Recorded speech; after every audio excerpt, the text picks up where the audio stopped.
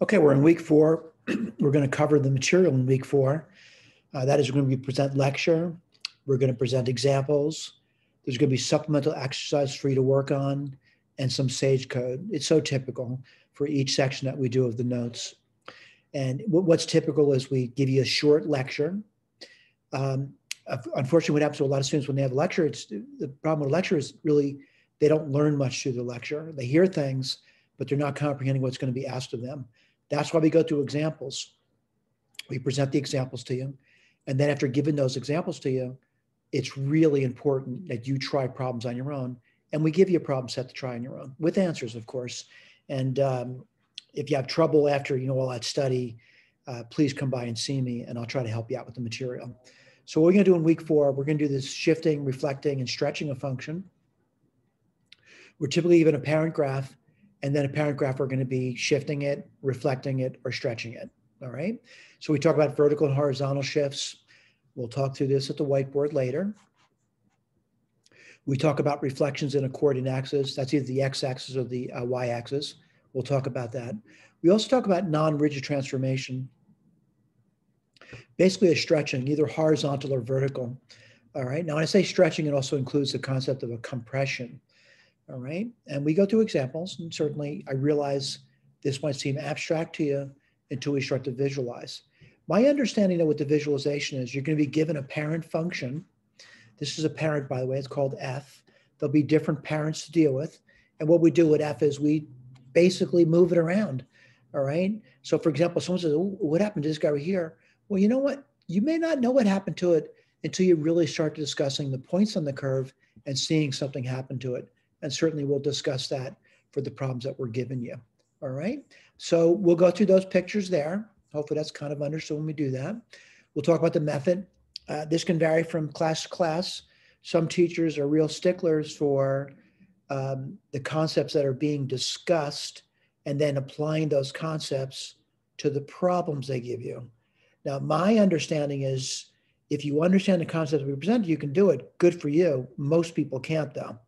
So I'm going to claim what I like to do is I like to do what's known as point translation. Look for characteristics on the parent, and those characteristics should be on the child, and we look for those characteristics. Now, someone says, "What do you mean characteristics?" Nice things, all right, nice easy things. We'll talk about that today, and then we'll reinforce this in the lecture. So I'm going to say there's plenty of parents to know. Certainly, you know lines. Lines have lines for children. A, a, a child of a line is going to look like a line. All right. So a quadratic, that's a you know parabola for you guys. You know, parabolas will have children where they look like they look like parabolas. All right. So this one over here is a cubic function. Yeah, you know, y equals uh, it's a function f of x equals x cubed. Yeah, that's what a cubic looks like. And then we're gonna, you know, translate it a little bit. All right. When I say translate, move it around. He's gonna have children look just like the cubic. Now, again, there's some subtle variations here, but let's not worry too much about that. Square root function, basically it's a half a parabola. That's all it is. All right, we've seen those before. And we're just gonna move it around. All right, so we're gonna do. Cubic function, this, what I, I, am sorry, I shouldn't say cubic, cube root function. It's basically looks like a cube function. It really does. It looks just like it. And this one over here, just like the square root look like a, a quadratic. Um, it's a simple wave problem. Um, typically, you're going to see more waves when you get to math 120, which is study trigonometry trigonometry where you see periodic functions. And periodic functions are functions that keep repeating themselves over and over again. I wouldn't worry about saying I have to memorize a lot of things. What you need to do is understand concepts. And as you understand those concepts, we'll move forward to the example questions. I am going to move to the whiteboard now, though. And I'm going to start talking more carefully about the notes. So give me one second. All right, so we're on the whiteboard. So I'm going to start talking through the notes, and I'm hoping you're going to pay attention. You may not, excuse me, you may not understand everything, but you really do need to go back over what we're talking about and try to make sense out of it. Now, granted, we will go through examples, but before we go through examples, we need to discuss the material. So I'm looking at, you know, uh, section 4.2, and my claim over here, just, you know, kind of looking at it, that I want to discuss it a little bit at a time. So this one's going to be vertical and horizontal shifts. A vertical shift is going to be moving things up and down. A horizontal shift is going to move things left or right.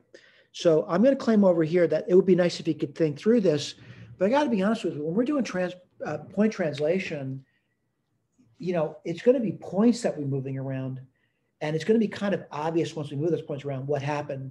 You know, was it shifted upwards, like this? All right. Was it shifted downward? Was it shifted to the right? Was it shifted to the left? Let's look, look at the notes. What I mean by that, I'm going to read it to you. It says, let C be some constant greater than zero. It's a positive number. And then let F be some function. All right. Let H be another function. All right. That's related to F. All right. Now, what I mean by related to F, F is a parent, H is the child. This is so typical. All right. So we're going to talk about vertical shift C units upward. So, you know, I'm going to say that H of X is related to F of X. What was it? It's just a vertical shift upwards. And if C is a positive number, this should sort of make sense to you. And what I mean by that is if you took the function F and added C to it, it would move it up C units. And this would be the child. That's all it is. Let's do the vertical shift downward. Again, generally speaking, pretty easy to understand. What are we saying? And again, C is a positive number. If you took the function F and you subtracted a number from it, it would push it down C units. So it's a downward motion. Now, yeah, get master. For a lot of students, this is the tough one, right? This was uh, why is it tough? Because people look at this and they don't think it makes sense, right? When we do points translation, no, this should make sense to you.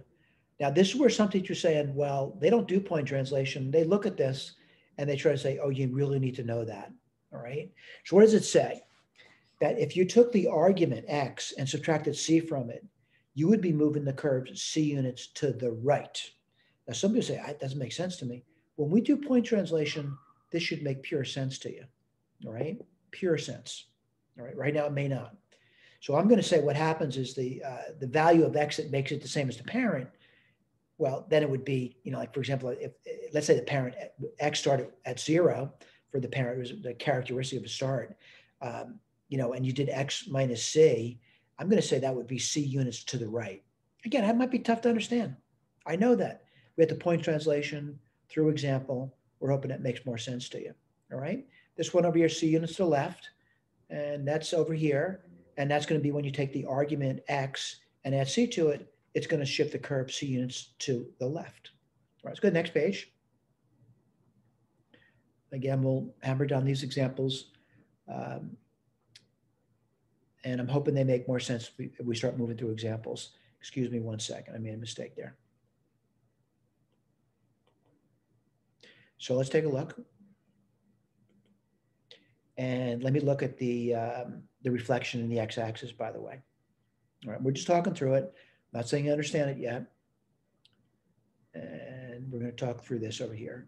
Reflections in the coordinate axis. So, so, as a coordinate axis, what are you talking about?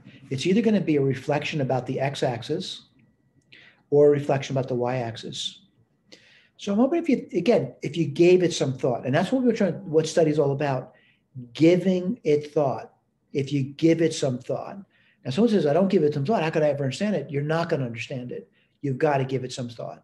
So what are they saying that, you know, H is still related to the parent F, but we're rotating about the x-axis. All right. So what I'm saying is to rotate it, think about it, it would just be the opposite of F would rotate it about the x-axis. And that's again, we're talking about the child H.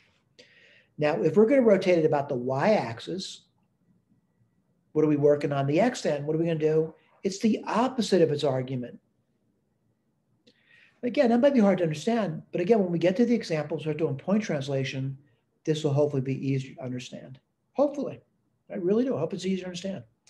All right. So I'm going to go to what's called the non-rigid transformation. Non-rigid. Here comes the big problem.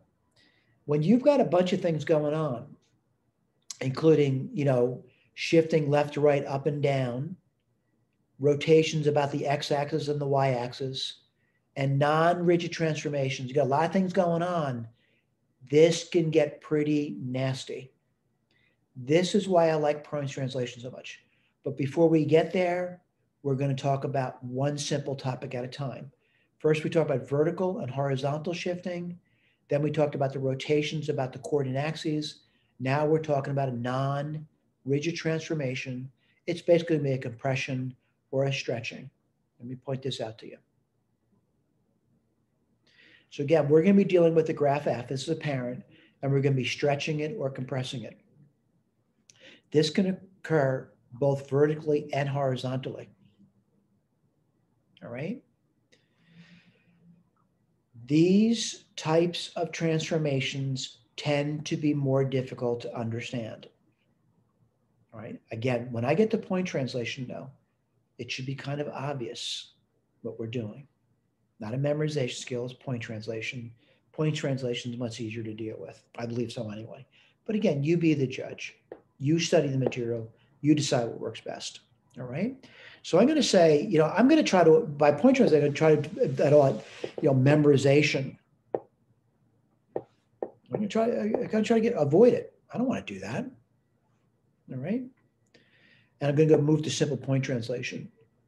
But before we do that, it, it's good to think if you can think about a little bit at a time what, what's happening. And I, I, I, I still think this is important, but I'm not going to try to memorize it. And what I'm going to do is I'm going to try to visualize it. So I'm going to try to visualize these things separately. All right. Now I want to point out the first one. What it does, it's twice the function. It's twice the function. What would happen to that? Again, I'm thinking if you thought about that in your mind, what would happen? It would be a vertical stretch by a factor of two. If you thought about the next one, which is 0.5 of x, that would be a vertical compression by a factor of two. Now, so this is why a factor of two. 0.5 is actually a half. It's shrinking it. All right. Now I got to be honest with three and four might be more difficult. Number three is a horizontal. It's working on the x bar. It's horizontal compression factor of two. We'll go through examples. Number four, it's working on the argument x, horizontal expansion by a factor of two. All right, let's go to the next page. We're looking at these pictures here. I want to talk points with you. And I'm going to say there's, at least for me, there's some characteristic points in this curve over here. This is a characteristic, this is a characteristic, this is a characteristic. I'm going to say that's a characteristic, that's a characteristic. I want to write down what those characteristics are to me, though, looking at it. Again, I'm not saying these are absolutely accurate. I'm just saying it's good enough for me. So what's this point over here?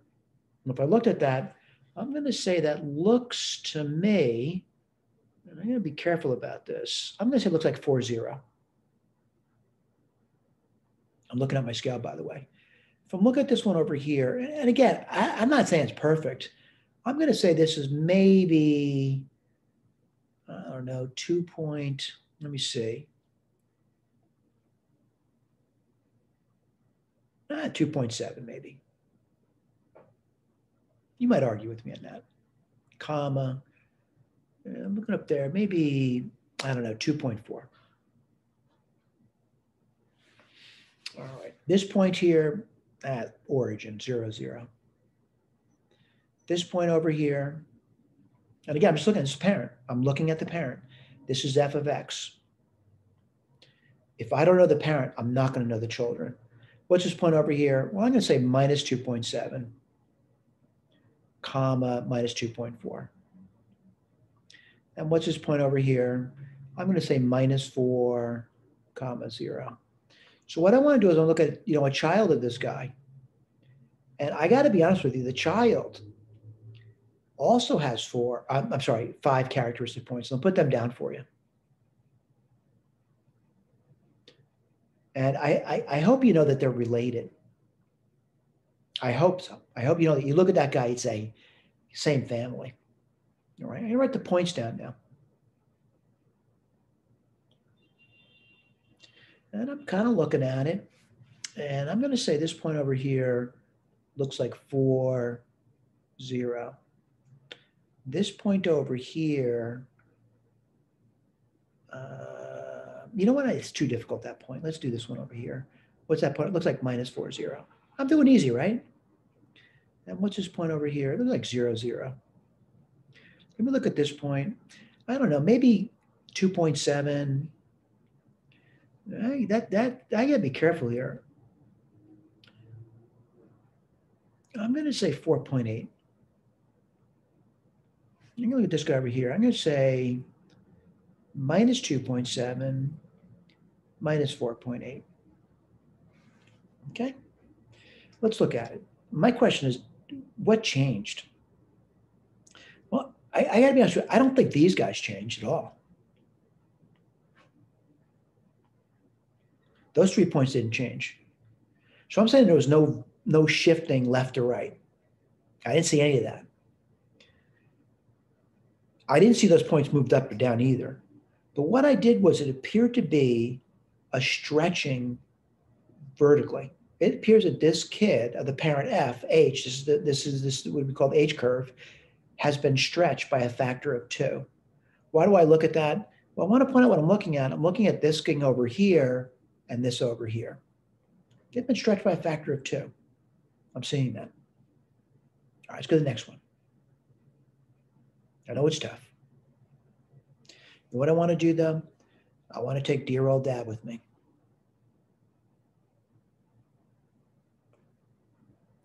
Just give me a second here.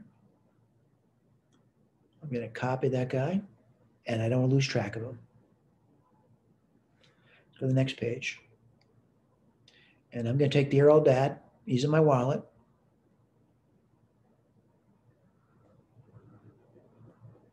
And I can put him over here. We can blow this guy up. And this is another child. So I'm gonna look at the I'm gonna look at the points again. And this one, this one, this one, this one, and this one. I'm gonna write the points down for you. And again, I'm looking at the picture, right? So I'm gonna say, you know, this point, I look at the easy guys, minus four zero. This point over here is four zero. This point is zero zero. This point over here looks about, I don't know, 2.7. Uh, let me take a look at that. I'm going to say about 1.2. I can look at this one over here, again, minus 2.7, kind of ballpark. And I'm not saying I'm doing a great job, and minus 1.2. I think you get the idea. So I'm saying this is definitely a child of dad. I look at the family, it's the same family. And I'm looking, was it moved left or right, up or down? No. Looking at those three points, right? Minus four, zero, zero, zero, four, zero, same point. What's happened though? It looks like there's a vertical compression by a factor of two. In other words, if you saw this 2.4 and someone look at this one over here, you'd say, oh, we took half of it. I, I, I shrank it down by a factor of two. All right, I shrank it down by a factor of two. All right, let's take a look at the next one. And again, I don't want to lose sight of dad. I'm going to put this down for you. Dad's going to be coming along. He's got kids. Give me a second over here. By the way, if I do this to the kid, you might say the kid's getting really big or being twisted around. That's why I need a scale. I need that scale. All right, so I'm looking at it and I want to do these points over here now. I'll point it out to you the same points. If dad had five points, the kid's got five points. And I want to stick with the easy ones. All right, I'm going to do, let's see. This guy here looks, I'm looking at, I'm going to say 2 0. This guy over here, minus 2 0. And this guy, 0 0. I want to explain this again. If I do something like this, I'm not changing the scale on the X or Y axes. You might say the picture's getting busy, it's making me dizzy, but the numbers aren't changing. All right, let's keep going. Look around for more. I'm going to look at this guy and this guy. And I'm going to say, you know, I'm not saying I'm accurate at this. I'm just saying I'm getting kind of better at this. And I'm going to say like minus 1.4. And then I'm going to say that that looks about minus 2.4. And this guy over here, say about minus, not minus, that's crazy, 1.4, go backwards, 2.4. All right. So again, I'm, looking at the parent and I'm wondering, you know, it, it, it doesn't appear to be moved left or right because I'm looking at that origin point, it's still there. But what, what does it look like? It looks like the thing has been squeezed along the x-axis by a factor of two. I'm hoping you can see that. So for example, this point here has now become this point here. And that's a factor of two. I mean, the dad was at four, this kid's at two. And if you looked at this point over here, and I'm seeing this, I hope you realize been squeezed in. And these points too have been squeezed in. All right. Where was it before? You know, 2.7. Well, if I really squeezed it in by a factor of two, it'd be 1.35. But you know, I'm, I'm ballparking it. I hope that's not too difficult for you. All right. Again, we're asking you to think. That takes time and effort. All right. I want to take dear old dad with me again because maybe there'll be another transformation. Who knows? And we'll go to the next page. I got another one. And I'm going to paste dear old dad again. There he is. Let's see what happened to this guy. All right. And again, I'm going to, you know, sort of like look at them and don't worry what I'm doing with the picture. I just want to put some points down for you. And this one, and this one. And I think I can put them down pretty quickly. Whoops, sorry about that.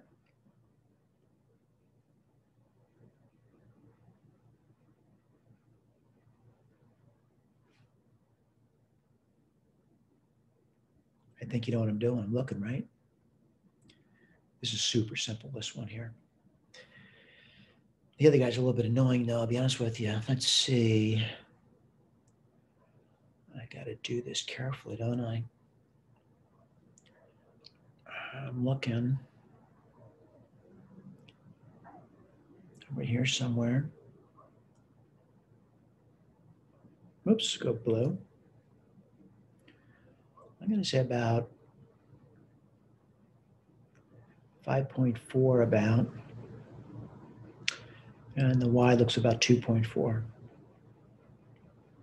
Let's do the other point over here somewhere. And I'm going to put that down for you now. Minus 5.4, minus 2.4. Now, again, I hope you're looking at the parent and the kid, right? The parent's F, and this is the kid. He's related to the parent, the same family. What happened? It appears there was a stretching along the x-axis now, not along the y, along the axis. What's happened? It's been doubled, all right? Again, we're hoping you can do that that you can look at a picture and really transformations. The reason the pictures are being labeled for you is we want you to look at that as well. All right. Let's talk about method. All right. Okay. We're going to be faced with a lot of simple functions that are called parents, and parents have children. All right. The children will look like the parent, but they're still going to be children of the parent.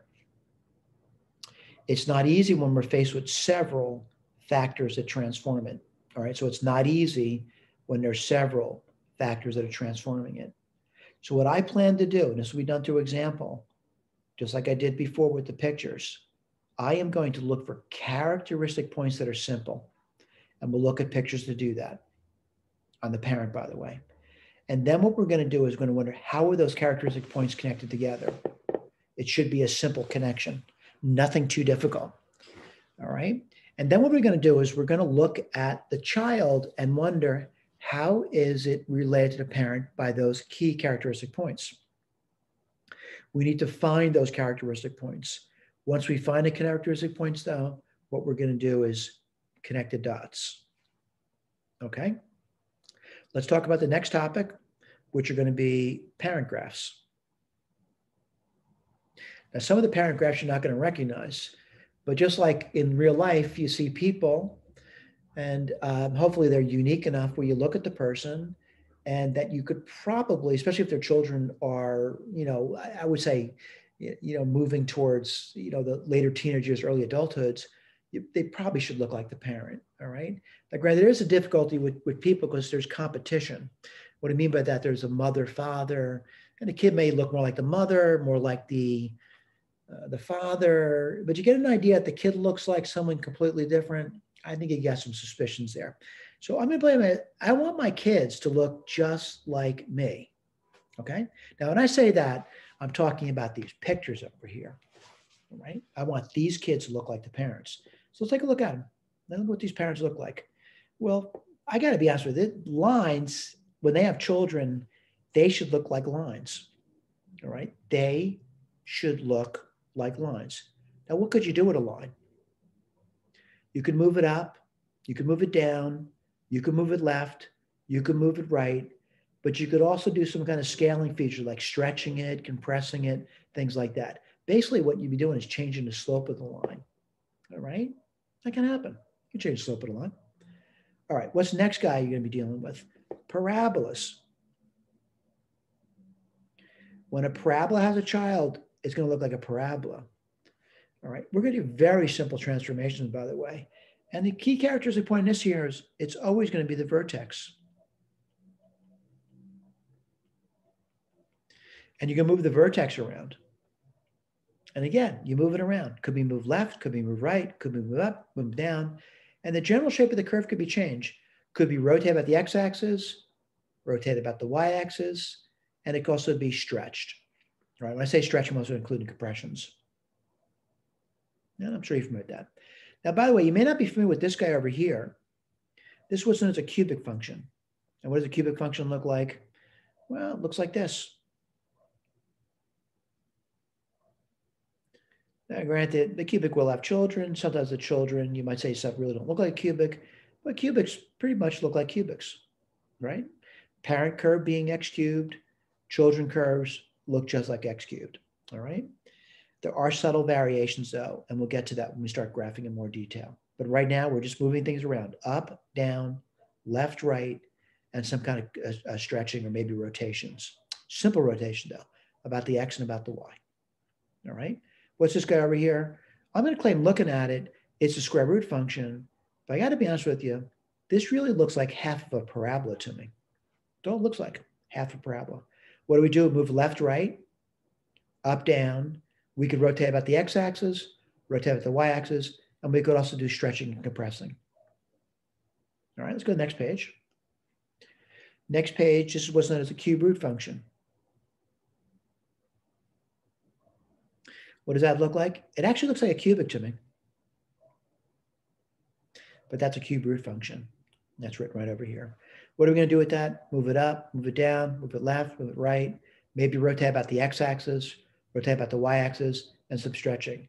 I will say this though, you should have a pretty good understanding of moving left, right, up, down, rotating about the x, rotating about the y, what they would look like. It's the stretching that keep going, and that, that can get tough. What's the last guy we have? It's a simple wave. And what's a simple wave look like? Well, it's really not bad. A simple wave looks like this over here. Um, yes, I'm tracing over my curves. Uh, the reason we give you good curves and so you can look at those good curves. If someone said, you know, what are the characteristics in this curve over here?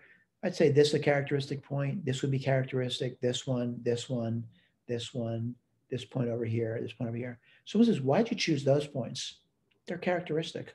So what I choose, X and Y intercepts, if I can see them, I can clearly see them. And these things over here, which I want to point out what I'm looking at over here, this is a local maximum and this is a local minimum. This is a local maximum. This is a local minimum. They're pretty easy to do. So what are we going to do next? We'll go through the example questions. We're hoping as we go through the example questions that you paid enough attention that you know the example questions are related to what we just discussed. Thank you.